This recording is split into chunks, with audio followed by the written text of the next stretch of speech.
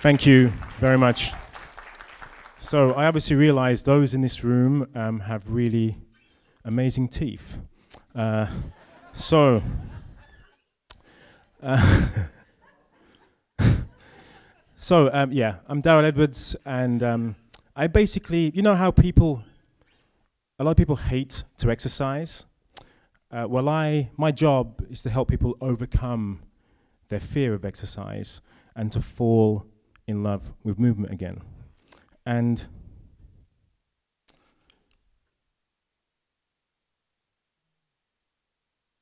sorry about this, my clicker is not working. Go. So, a, a few things about me. Uh, I'm a health coach, I'm a certified personal trainer, and also a nutritionist. This is one of my clients, a 12 week transformation, movement, uh, good food, and other lifestyle changes.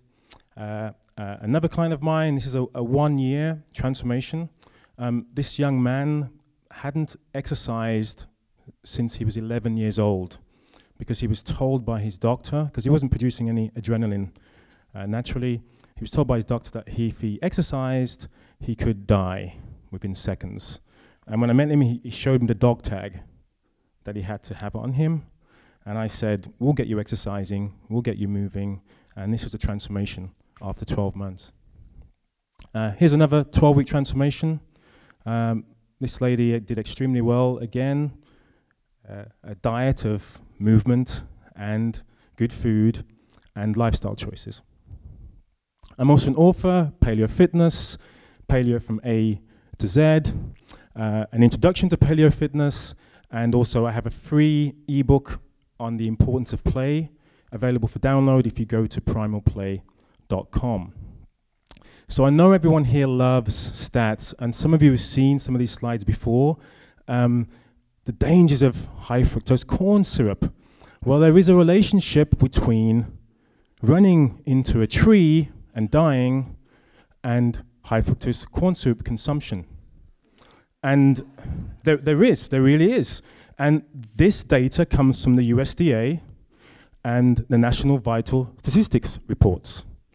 Uh, so, and as we're all aware, correlation is not causation, but this is being tracked over 10 years, and there's quite a strong relationship between those sets of data. Uh, why is cheese not safe, safe to consume? Why should we avoid dairy? Arguably, it's because you're more likely to be strangled by your bread sheets if you consume cheese. And again, this data you can verify. It comes from the USDA and the CDC over a 10 year period, and uh, that is the actual data.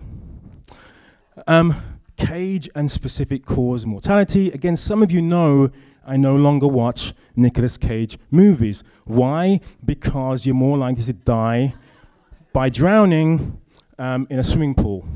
Okay? And yeah, so I do no I no longer watch Nicolas Cage movies and I avoid swimming pools just in case I do.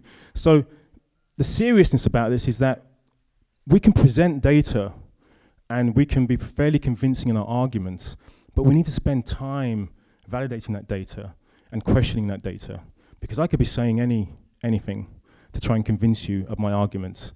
So I would ask you to please don't take anything for granted. What we do know is that we're suffering from a chronic lifestyle disease epidemic. And up to 75% of us will die prematurely from a chronic lifestyle disease globally. And, and we kind of know what, what that is, you know, issues with cholesterol and triglycerides, stroke, chronic low back pain, cancer, blood pressure, type 2 diabetes, obesity, arthritis, Alzheimer's, multiple sclerosis. Um, and even if we're relatively healthy now, we probably know people who fall into this category. Uh, we may have lost those close to us uh, based on uh, one or more of these diseases. Um, and very few of us are the 25% who will live, live a long and healthy life. So I'm going to be presenting the case for exercise, the case for physical activity. You are the judge and jury. I'll be presenting some evidence, and you can make a decision as to whether my arguments are sound. So here I've got a, few quotes. Walking is the best medicine. Uh, that which is used develops. that which isn't used wastes away. Uh, we need the right amount of nourishment and exercise. Look well to the spine for the cause of disease. Eating alone will not keep a man well. He must also take exercise. And if you're in a bad mood, go for a walk. If you're still in a bad mood, go for another walk. Um, and do you know what? This, these quotes are attributed to Hippocrates. Uh, but what the heck does he know about good health, hey? so, um, but it's really interesting. The amount of Hippocrates quotes I see tend to gravitate towards food. All disease begins in the gut.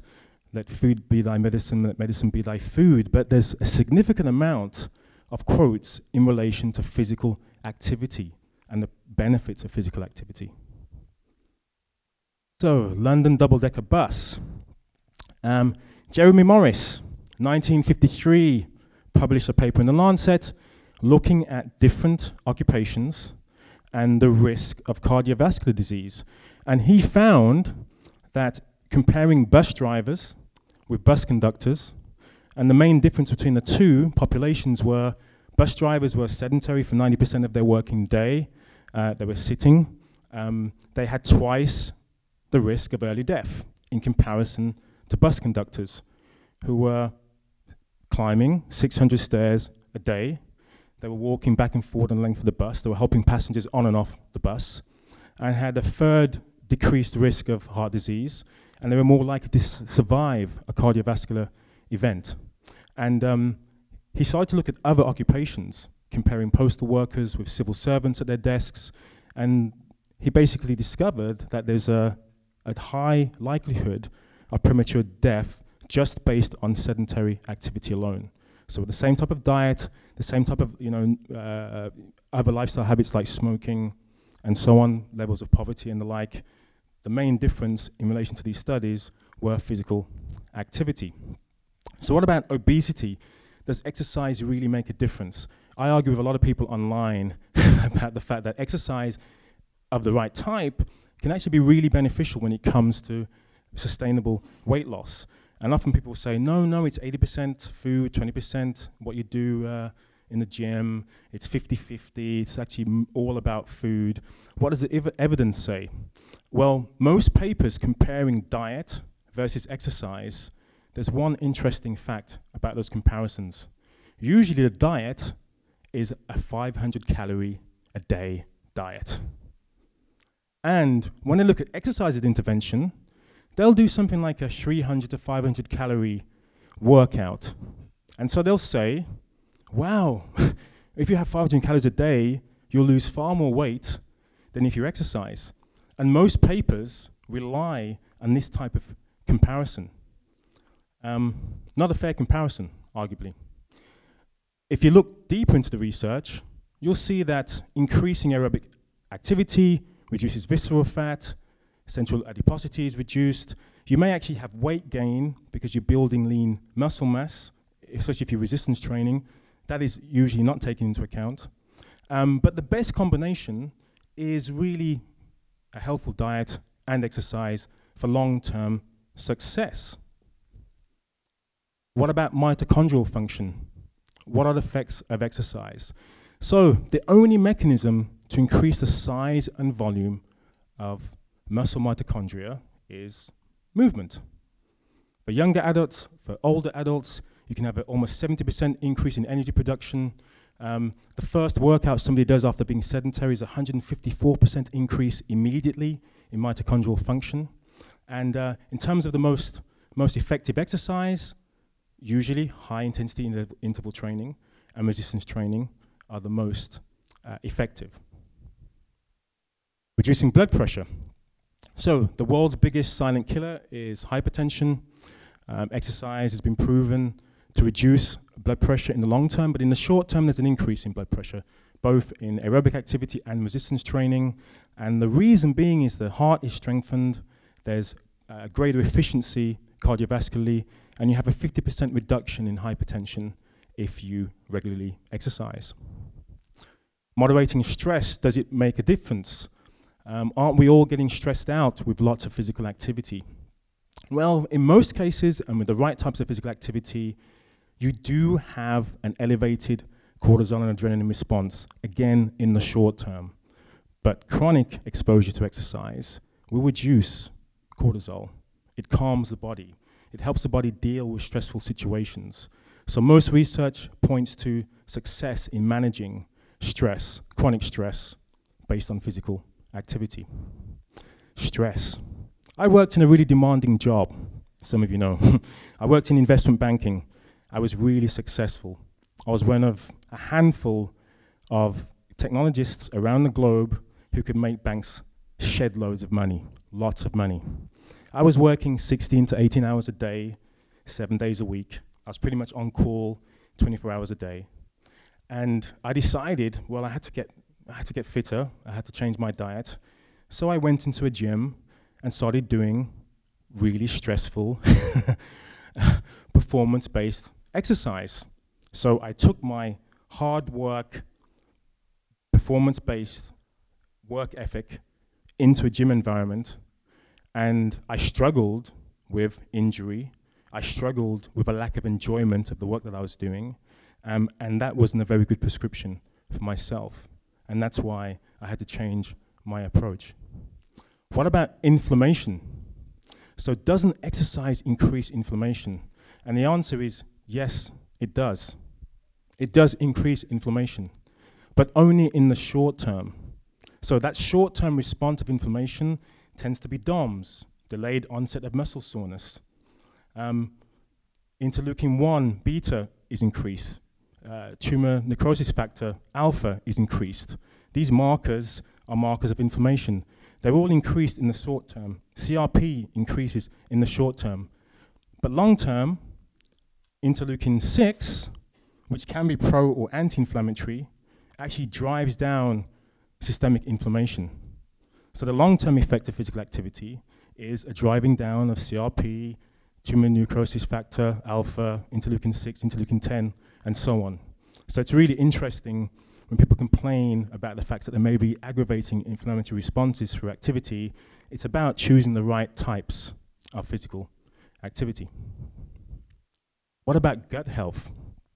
I had no idea that physical activity could actually promote healthy gut flora and microbiome diversity.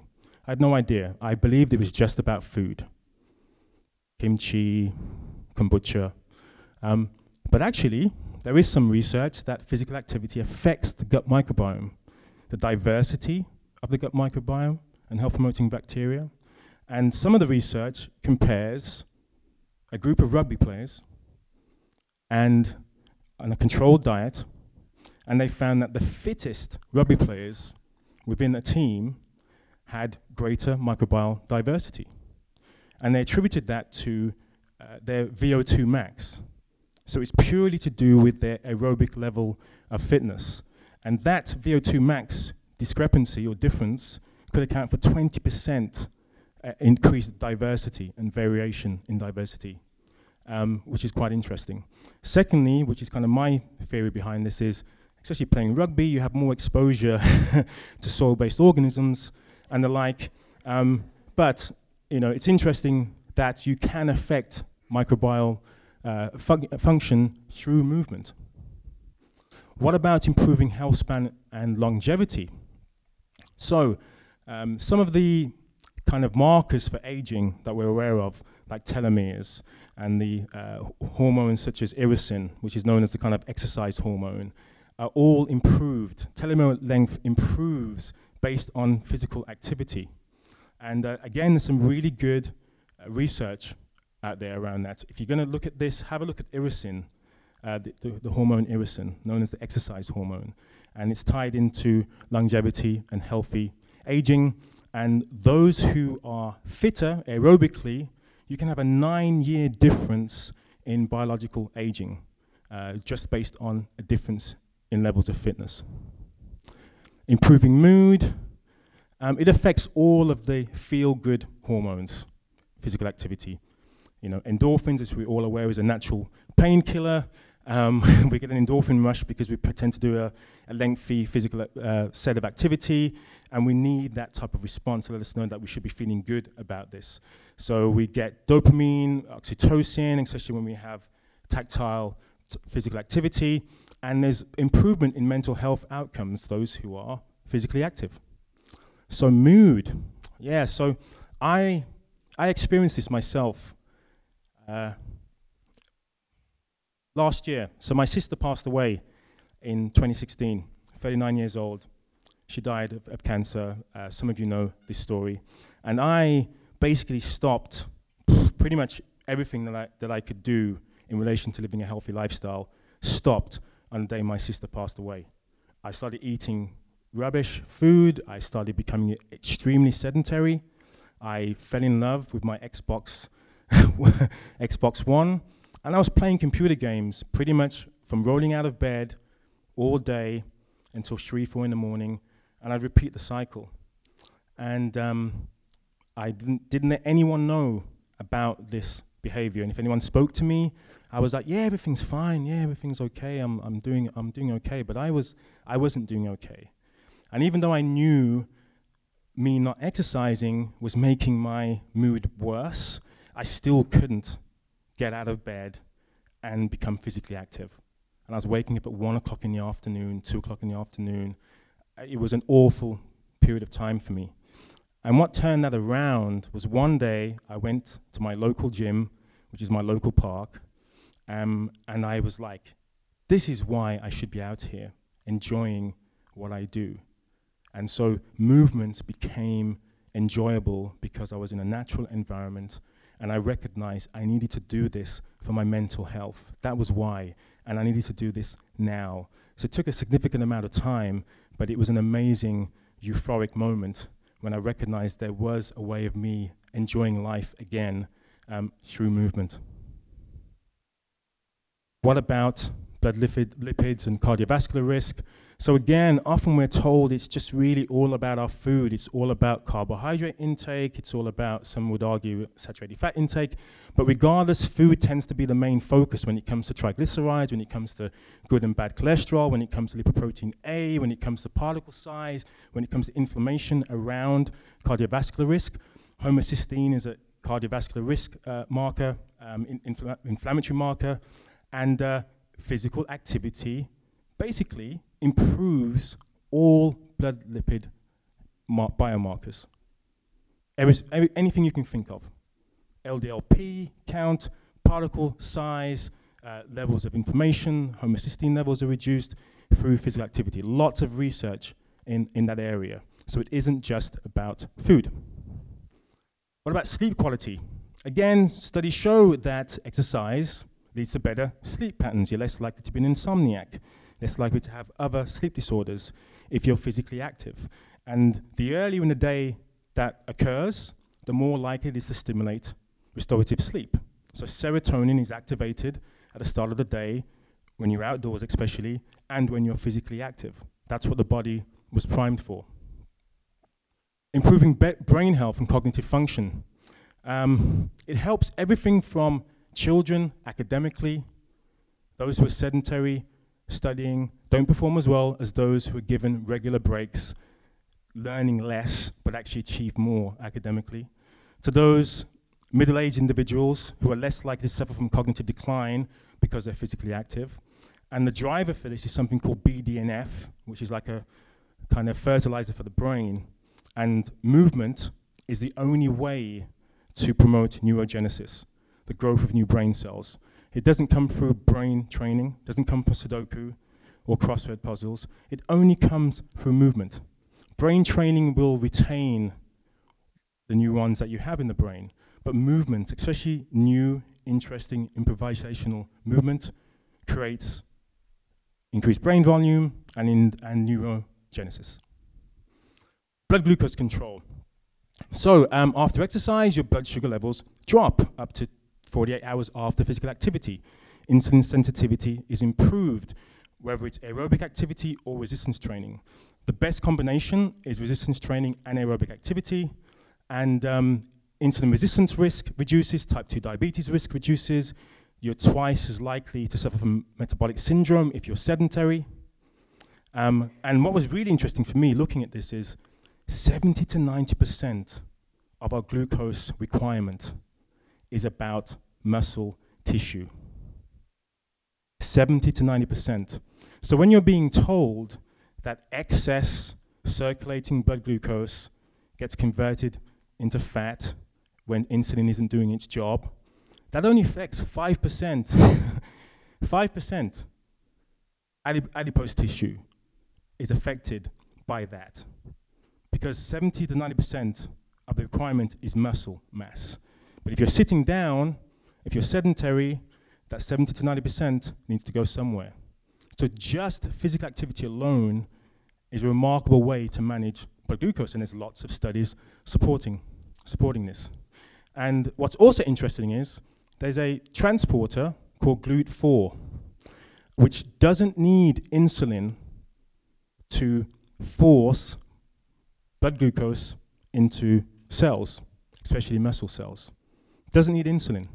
So just movement alone without insulin can be supported through physical activity. So finally, looking at discussing all of that, why is movement really important? And there's some really great research looking at the development as to why we had to move. And so the common sense one is, well, if we didn't move, we couldn't, we couldn't feed, you know, we couldn't reproduce. There was a driver for movement. And this gentleman here proposes that actually our cognitive ability and cognitive function is purely driven by movement.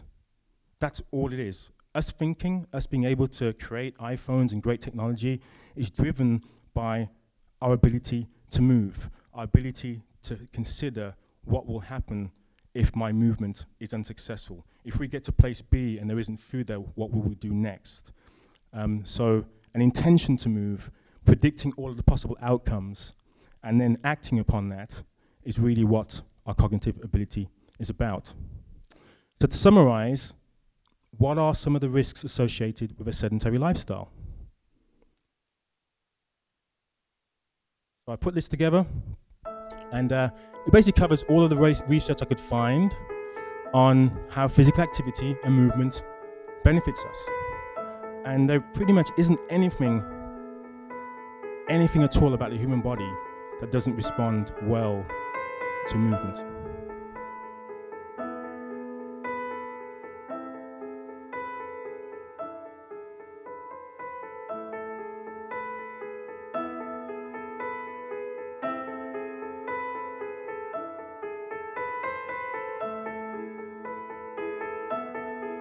50% reduction in all causes of death, all cause mortality. So, movement is medicine. And that music was mine, by the way, just so you know. okay, so yeah, so um, movement is medicine. So, I'm going to go back in time now. Uh, as I said earlier, I was a computer programmer, I was a technologist working in investment banking. This is how it all started for me. In 1979, my mother came home with an Atari computer. And I was really upset because it wasn't a games console. I was like, Mom, there's a keyboard. What, what the heck's that? I want to be playing games. And she went, I don't know. The salesman told me it was a really new and fantastic product. And you can plug it into the TV and you can, you can touch type. Mm, that sounds interesting. So I, so I learned to code on that machine right, there, right there, the Atari 400.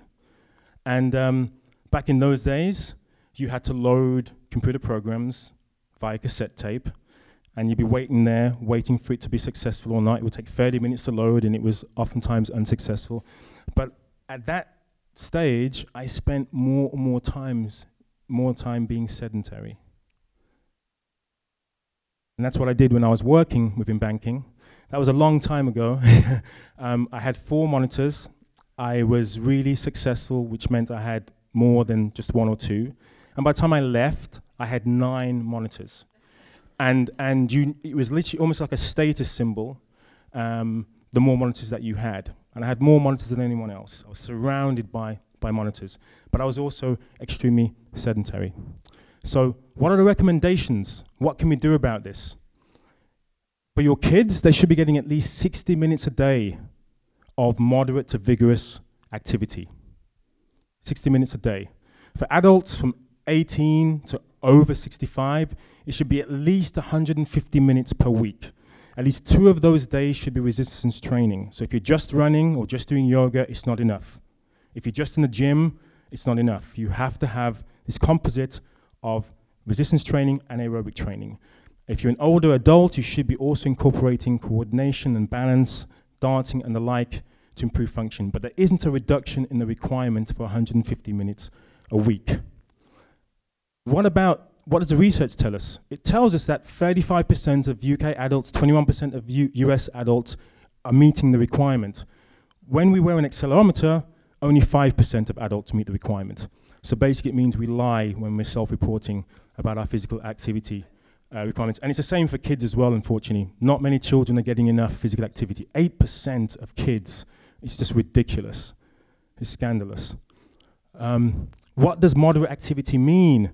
It basically means if I have trouble talking whilst performing this activity, that's moderate activity.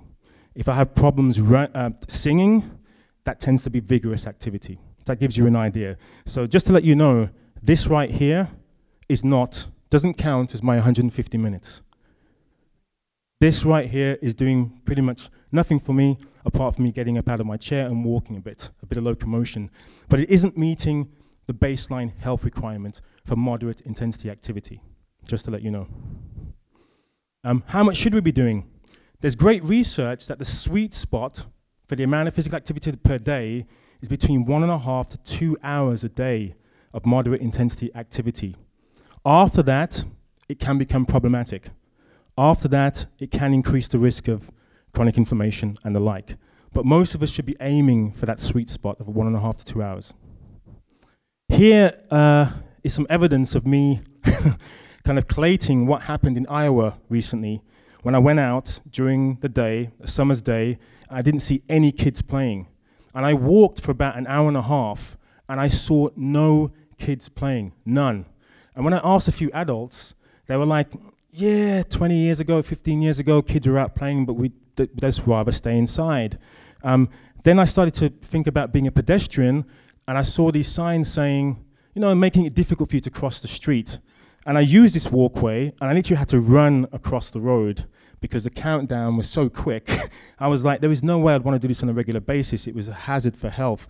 Then I saw signs like this telling me, oh my gosh, there's going to be a walking man and it's quite dangerous. Like, do you know what I mean? Like, I've seen kangaroos in Australia on signposts and deer, and but like I've never seen a walking man. Um, and I was like, I'm in a really nice neighborhood, so I know there were no safety alerts. Uh, this is just watch out for pedestrians, and I was one of them. okay. Um, then I saw this, which was I, I don't know what the heck was going on here. A drive-through ATM. So I actually thought I saw a petrol pump or a gas pump until I saw somebody drive up and actually collect some cash. And I was like, people can't even get out of their cars to get a bit of money.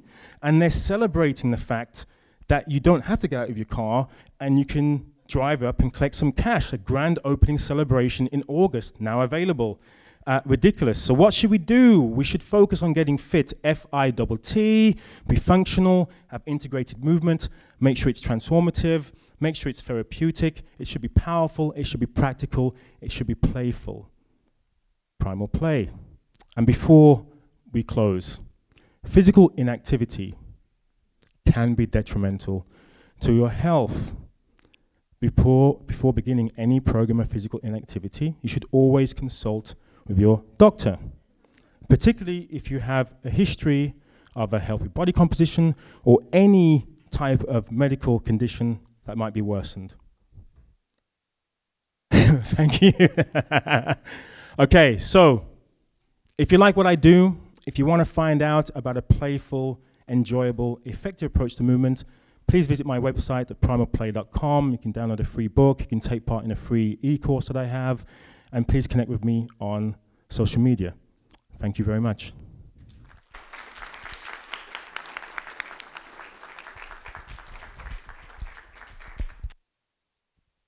Thank you so much, Darryl. Okay, we have some time for questions, uh, but I think we only have one microphone. So, is there? It doesn't look like it. Well, if you have questions, you can head over this way. Is it there?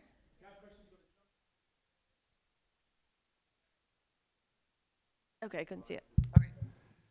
Just a, a question about the um, the movement. Uh, it was interesting that maybe the reason we move is to for cognitive function, but I couldn't help think of um, you know people like Stephen Hawking or uh, someone like George R. R. Martin, very powerful, powerful brains, creative people.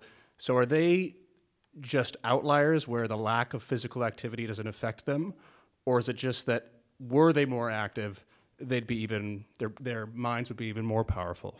I mean, that's a really interesting point. Um, I suppose with Stephen Hawking, obviously he wasn't always suffering from motor neuron disease. Um, it was only, I think it started occurring in his early 20s uh, whilst at university. So, so that, that research was purely about a, the, the evolutionary driver um, and how we're still impacted by that. So just um, the, an action in itself um, is driven by a desire to move. So yeah, it's, it's, it's kind of all part and parcel. There's again lots of interesting research in, in relation to that.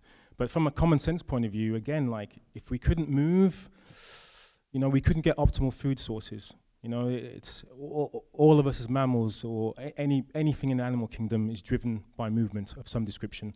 So it kind of just makes it really does make sense to me. But uh, yeah, it doesn't really answer the question. but um, um, yeah, creativity. Yeah. I, oh, here's actually I do have an answer for you.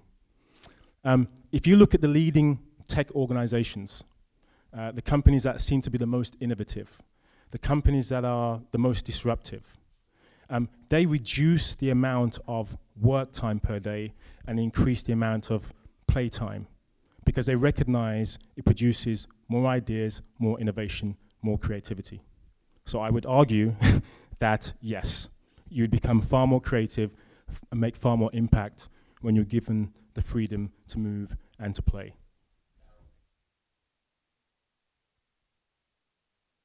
Imaginative exercise?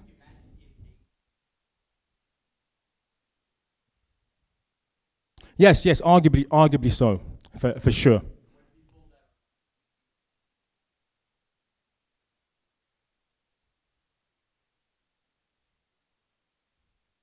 Yeah, so, okay, hey, let's everyone stand up. Stand up, stand up, stand up, stand up, stand up, stand up, stand up. Stand up. We've got another question. Stand up, stand up, stand up, stand up. okay, so right, so um, can I have a volunteer quickly? Okay, Anne, nice. Okay, Anne. All right, so, all right, so we're gonna, so we're gonna play uh, sticky shoulders. So, hand on my shoulder, hand on my shoulder. Basically, keep it there. Okay, keep your hand. keep it, keep it there. Okay. So, all right, so start thinking about this now. Don't struggle being concerned about what I'm going to do next. Just keep in contact. Okay, I'm not moving very quickly, but what I want you to do, stay in tune, whatever I'm doing. Good. So movements like this will generate innovation and creativity. Uh, so give it, I think everyone should give this a try, wherever you are. Sticky shoulders. Wherever you are, give that a try. I know you're limited by space, some of you. Come on, Tess.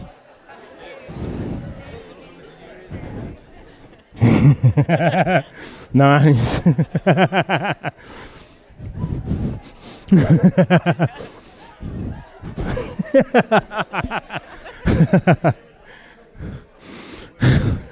Thank you. All right. Do you happen to have a? It was, it was a one, but you can do two. Yeah. All right. so, this this movement right here. If you had an fMRI scan, you would see the amount of neurons that would be fired by this kind of cross pattern movement. Okay, this multi-directional movement. So there are more neurons that are fired by this type of movement than me just kind of running in a straight line. Okay, the fact that I'm not really sure what's going to happen next. The fact that we have to be imaginative and creative and move our bodies in really interesting ways, which is why dancing really helps older adults in terms of improvements of cognitive function, for, because you do have this improvisational aspect to movement. Any more questions? Sorry. Hello. Oh, I, have, I just want to come over and stand but next yeah, to you. Yeah, you can run over anyway.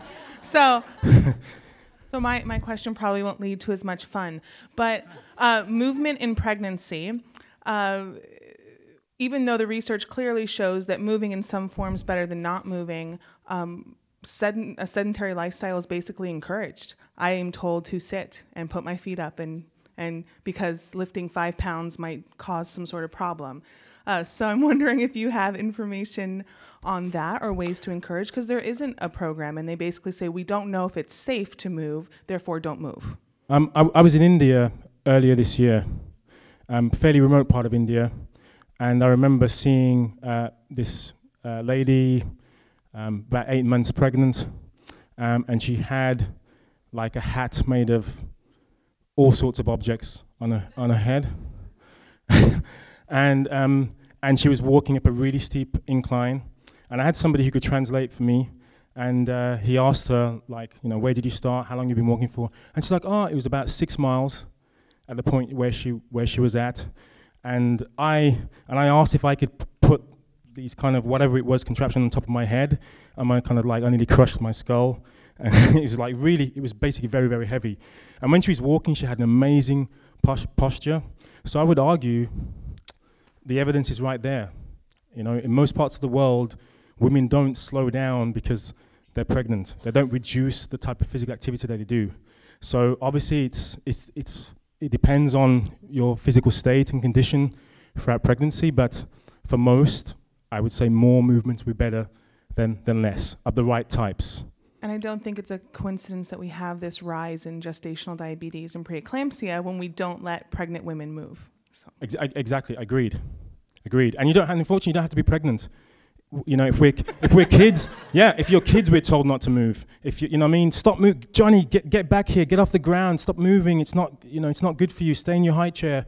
You know, uh, we're we're told all the time, don't move. It's dangerous. The stairs in the London Underground where I live, you know, there are warning signs saying don't take the stairs because it's gonna hurt by the time you get to the top of it. So that's the reality, folks.